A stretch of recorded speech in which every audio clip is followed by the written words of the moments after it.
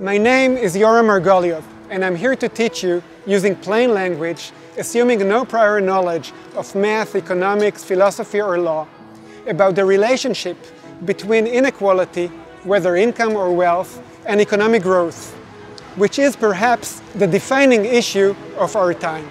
In this course, we will learn the foundations of economic growth, how to define and measure inequality and poverty, and how to design a tax and transfer system that would maximize society well-being, namely happiness. This course will significantly improve your ability to understand economic issues presented in the media and to assess the wisdom of socio-economic policies and is likely to change the way you see the economic world.